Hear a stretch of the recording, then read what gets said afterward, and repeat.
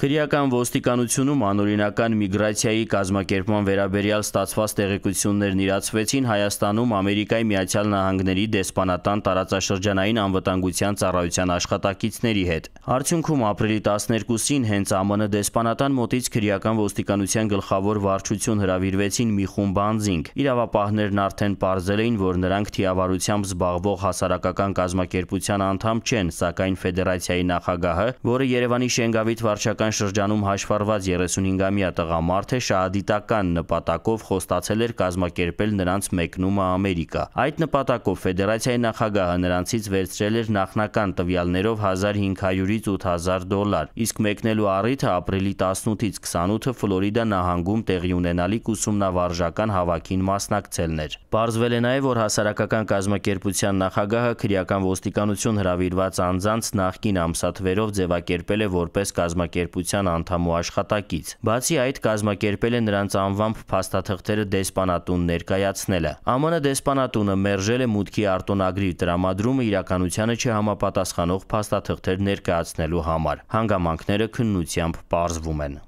Ծանուցում. Ենթադրյալ հանցանքի մեջ կասկածվողը կամ մեղադրվողը համարվում է անմեղ, քանի դեռ նրա մեղավորությունն ապացուցված չէ Հայաստանի Հանրապետության քրեական դատավարության օրենսգրքով սահմանված կարգով՝ դատարանի օրինական ուժի մեջ մտած դատավճռով։